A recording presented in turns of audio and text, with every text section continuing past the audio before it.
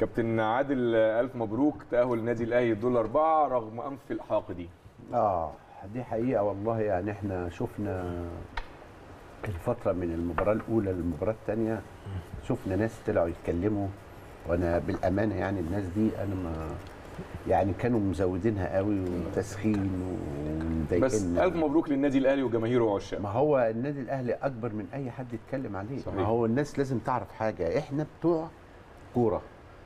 إحنا بتوع تاريخ. أرقام. وأرقام. الحمد لله إحنا الحمد لله رب العالمين. صعدنا بمجهودنا صحيح. وقوتنا. النهارده اللعيبة رجالة. عندنا حارس كبير. هنتكلم على الفنيات ولكن في الآخر الأمر سعادتنا إن إحنا متمرسين. مظبوط يا كابتن. يا جماعة اللي يتكلم يتكلم. أي حد يقول حاجة إحنا ماشيين في طريقنا. صحيح. اصل اللي بيتكلم.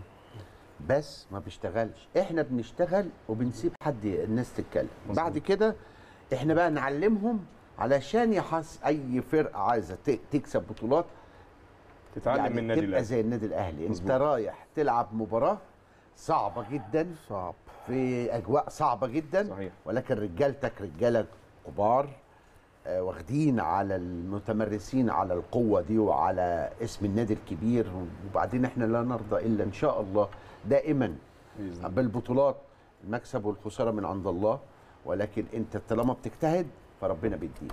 بإذن الله.